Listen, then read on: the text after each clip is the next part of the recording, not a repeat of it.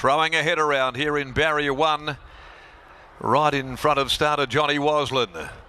They're set to go and they're racing here in the Pinjarra Cup. And the first of them away, Ghobella, but she doesn't want to be there. Nobody wants to be there.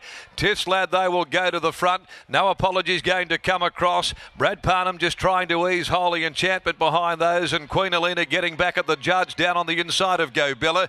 Then came dropping back Casino 17 in front of Blazing Away. Well, as they played that game of chess early as to who was going to take up the role of pacemaker, 1800 to go, and it's no apology that finds itself there. In front, swishing the tail, led by nearly two lengths. Running second, Tiff's Lad down on the inside of Holy Enchantment, starting to edge its way a little closer, and trailed in turn by one of the two mares, Ghobella. The other of them is next over on the rail, Queen Alina. From last year's Cup winner, Casino 17, the Bunbury Cup winner trails them blazing away as they go over into the back, nearing the 1450. No apology, dictating terms. Leads the Cup field by a length and a half to Holy Enchantment just sitting off it.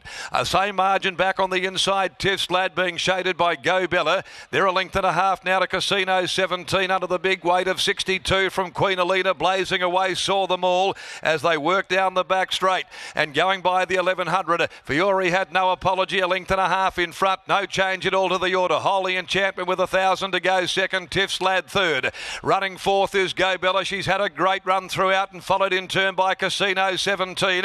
It's outside of Queen Alina, and still last of all is blazing away, spotting the leader five to six lengths head start as No Apology gets a bit of a breather. Down the side they come, No Apology by three quarters, Holy Enchantment cruising up there for Brad Parnham. Tiff's lad down on the inside in a pocket just in front of Ghobella, about to pull out now and get going on the outside. Casino 17.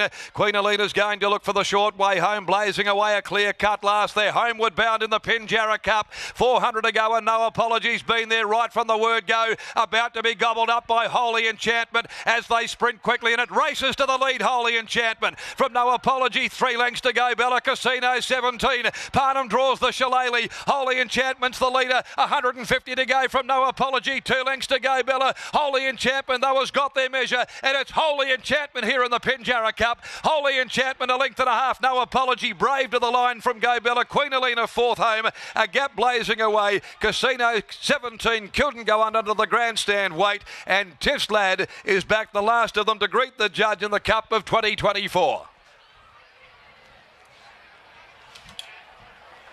Holy Enchantment, too good, written by Brad Parnham. Number six, the winner, Holy Enchantment for S.J. Miller, the playing God gelding. Third in the Bunbury Cup. Clinches the Pinjarra Cup here this